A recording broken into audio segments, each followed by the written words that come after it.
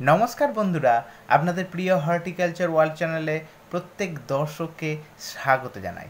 বন্ধুরা, আজকের ভিডিওটিতে আমার বন্ধু বিধানচন্দ্র কৃষি বিশ্ববিদ্যালয়ের পিএইচডি রিসার্চ স্কলার আমরা একসঙ্গে পিএইচডি করতাম সুব্রজ্যোতি চ্যাটার্জি। আজকে ড্রাগন ফ্রুটের কৃত্রিমভাবে যে পরাগ মিলন, সে বিষয়ে আলোকপাত করে নেবে আপনাদের সাথে। দেখে নিন ভিডিওটি মন দিয়ে। তো আজকে আমরা আবার চলে এসেছি আমাদের ছাদ বাগানে, আমাদের যেটা ড্রাগন ফ্রুটের প্ল্যান্ট তো আজকে আমার এই ভিডিওটা করার উদ্দেশ্য হচ্ছে যে আমরা সবাই জানি যে ড্রাগন ফ্রুট এখন ওয়েস্ট বেঙ্গল সহ সারা ভারতবর্ষে একটা নিউলি ইন্ট্রোডিউসড ক্রপ এবং এর কিন্তু বাজার চলতি মূল্য প্রচুর। কমার্শিয়ালি অনেক জায়গাতে চাষবাস হচ্ছে। তো আজকে যেটা দেখাবো সেটা হচ্ছে যে আমাদের যে ড্রাগন ফ্রুট সেই ড্রাগন ফ্রুটটা আমরা সবাই জানি যে রাত্রিবেলায় সাধারণত ফুলটা ফোটে। এই ঠিক নটা বা তারপরে এবং সারা রাত্রি ফুলটা ফোটার পর, পরের দিন সকালবেলায় কিন্তু ফুলটা বুঝে যায়।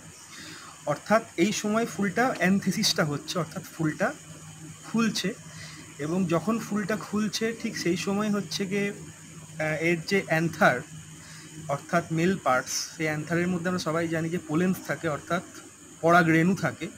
তো এই সময় কিন্তু পরাগ রেণুগুলো সাধারণত বার্স্ট আউট হয়।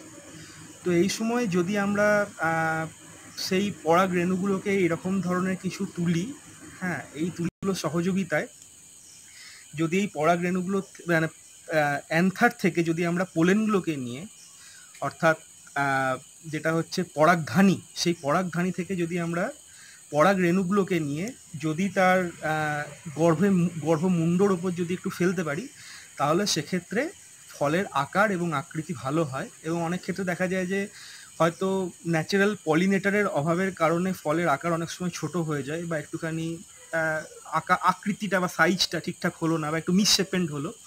তো সেই জন্য কিন্তু এখন এরকম ধরনের করা হয়ে থাকে মানে আর্টিফিশিয়াল পলিনেশন তো সেক্ষেত্রে আমরা একটু প্রথমে ফুলটা দেখানোর অনুরোধ করব, একটু ফুলটা দেখাও।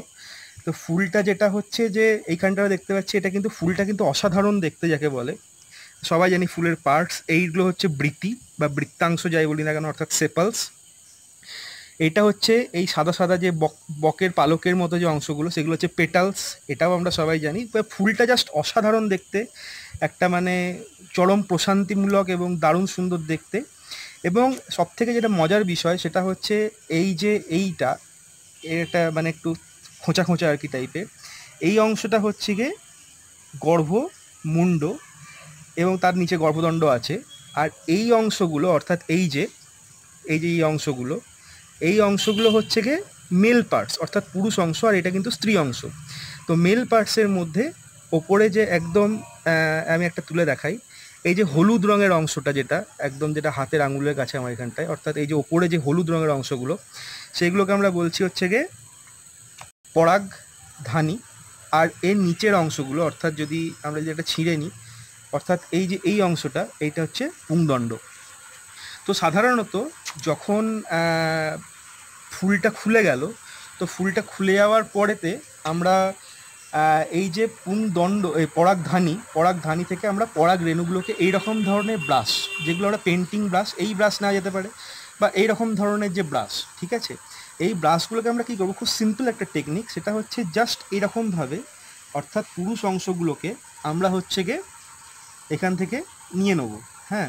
এরমভাবে জাস্ট ঠেকিয়ে জাস্ট এরমভাবে ঠেকিয়ে নিচ্ছি, এরমভাবে ঠেকিয়ে নিচ্ছি, এরমভাবে ঠেকিয়ে নিচ্ছি, এবং ঠেকিয়ে নেওয়ার পর এই অংশগুলো, এই যে আমরা যদি ব্রাশের তলার অংশটা দেখি, এর তলার অংশটা খুব প্রমিনেন্ট সেটা হচ্ছে যে হলুদ রঙের একটা কিন্তু পরাগ রেণুগুলো প্রচুর পরিমাণে লেগে রয়েছে। তো সেই পরাগ রেণুগুলোকে আমরা জাস্ট সিম্পলি খুব জেন্টলি এবং খুব সিম্পলি খুব আস্তে করে আমরা হচ্ছে গিয়ে এই গর্ভদণ্ডে, গর্ভমুণ্ডের ওপর হচ্ছে গিয়ে দিয়ে দিচ্ছি। বা এরকম ধরনের ব্রাশও আমরা নিতে পারি। এরকম ধরনের ব্রাশ আমরা নিচ্ছি। এই ব্রাশ নিয়ে এখান থেকে জাস্ট এইগুলোকে নিলাম। এই যে জাস্ট সিম্পলি কিচ্ছু না। এখান থেকে আমরা পরাগ রেণুগুলোকে কালেক্ট করে নিচ্ছি প্রচুর পরাগ রেণু ইনফ্যাক্ট পড়েও রয়েছে। এই যে যদি আমরা দেখি এখানটা প্রচুর পরাগ রেণু, ঝাড়া দিলেই পড়বে এবং এইগুলো দিয়ে হচ্ছে গিয়ে আমরা বেসিক্যালি এই গর্ভমুণ্ডের ওপর হচ্ছে গিয়ে জিনিসটাকে কিন্তু দিয়ে দিচ্ছি। প্রচুর পড়ে রয়েছে। যখন আমরা এটাকে ঝাড়া দিচ্ছি এরমভাবে ব্লাস্টটা দিয়ে, তখনই কিন্তু প্রচুর পরিমাণে পরাগ রেণু, অর্থাৎ পোলেন্স হ্যাঁ পোলেনটা বার্স্ট আউট হয়েছে, সেটা কিন্তু এখানটায় পড়ে যাচ্ছে। এবং সেই জিনিসটাই আমরা হচ্ছে কি এর গর্ভমুণ্ডে দিয়ে দিচ্ছি। এতে করে কি হচ্ছে যে পলিনেশনটা খুব ভালো হচ্ছে এবং এর পরবর্তীতে ফলের আকার, আকৃতি অনেক ভালো হবে। হ্যাঁ এছাড়াও অনেকে আর একটা জিনিস প্র্যাকটিস করে থাকেন। এটা তো একটা একটা প্রসেস হলো যে আমরা এখান থেকে ব্রাশ আউট করে নিয়ে এখানটায় দিয়ে দিচ্ছি। অনেকে আবার কি করেন যে কিছু পরিমাণ এই জিনিসটা, অর্থাৎ অ্যান্থার্স বা মেল পার্টটা এরমভাবে ছিঁড়ে নেন। সিম্পলি ছিঁড়ে নিয়ে এই যে অংশটা, এই অংশটা কিন্তু এরকমভাবে, এই যে জাস্ট এরকমভাবে ওপরে এরমভাবে ঠেকিয়ে বা এরকমভাবে অনেকে কিন্তু রেখেও দেন। ঠিক আছে? এতে কিন্তু, এতে ভাবার কোনো কারণ নেই যে ফুলটার কোনো ক্ষতি হবে। কোনো ক্ষতির কোনো সম্ভাবনা বা কোনো প্রবলেম নেই। খুব হালকা করে নিয়ে আমরা জাস্ট এই এইটাকে এইখানে কিন্তু রেখে দিলাম বা ঠেকিয়ে দিলাম। আপনারা যদি আমার হাতটা লক্ষ্য করেন, দেখুন কি পরিমাণ পোলেন। চিটচিট করছে পুরো একদম। হ্যাঁ এটা কিন্তু পুরোটাই হচ্ছে গিয়ে সবটাই পোলেনের জন্য। তো আমার সবার কাছে অনুরোধ থাকবে যে আপনারা যদি কমার্শিয়ালি বা আরও অনেক, আমাদের তো এটা ঘরের জন্য নয় পার্টিকুলারলি যদি কমার্শিয়াল স্কেলে যদি করেন, তাহলে অন্ততপক্ষে চেষ্টা করুন রাত্রিবেলায় কৃত্রিম উপায়ে পরাগযোগ করানোর জন্য এবং আমি অনুরোধ করব আমাদের পুরনো যে ড্রাগন ফ্রুটটা যেটা আমাদের আগে হয়েছিল, সেখানে কিন্তু এখনও ফুলটা আমাদের ছাড়েনি এবং ফলটার সাইজ কিন্তু কনসিডারেবলি অনেক বড় অনেক বড়, এটা আরেকটু বড় হবে। তো ফলের সাইজ এবং ফলের এটার লেন্থটা আমরা দেখাচ্ছি। এরপরে গাছটা আবার অনেক বাড়বে জাস্ট ইম্যাচিওর স্টেজে রয়েছে একদম ইম্যাচিওর এখনও প্রায় কুড়ি থেকে পনেরো থেকে কুড়ি দিন সময় লাগবে। তো এই জিনিসটা এই জিনিসটা হচ্ছে গিয়ে কিন্তু এইটা আমরা আর্টিফিশিয়াল পলিনেশন করার সুফল। সো আজকে ছিল এইটুকুই, নমস্কার। তো বন্ধুরা আপনারা শুভ্রজ্যোতির থেকে শুনে নিলেন কীভাবে কৃত্রিমভাবে আমরা পরাগ মিলন করে প্রচুর পরিমাণে ড্রাগন ফল প্রোডাকশান করতে পারি। প্রকৃতপক্ষে এখন বন্ধুরা অনেকেই আমরা ছাদ বাগানে বা কমার্শিয়ালভাবে ড্রাগন ফল চাষ করতে চাইছি।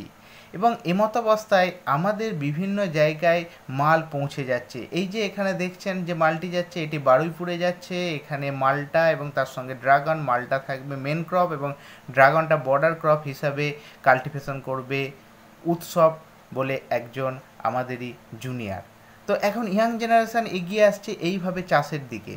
তো আপনারা যদি করতে চান, সেক্ষেত্রে একটি কন্ট্যাক্ট নাম্বার দিচ্ছি, এটি আমাদেরই নার্সারি তো এক্ষেত্রে ক্ষেত্রে আপনারা গাছ সংগ্রহ করতে পারেন এবং ছাদ বাগানে অথবা আপনার জমিতে আপনি চাষ করতে পারেন। প্রত্যেকে খুব ভালো থাকবেন। অনেক অনেক শুভেচ্ছা জানাই। ধন্যবাদ।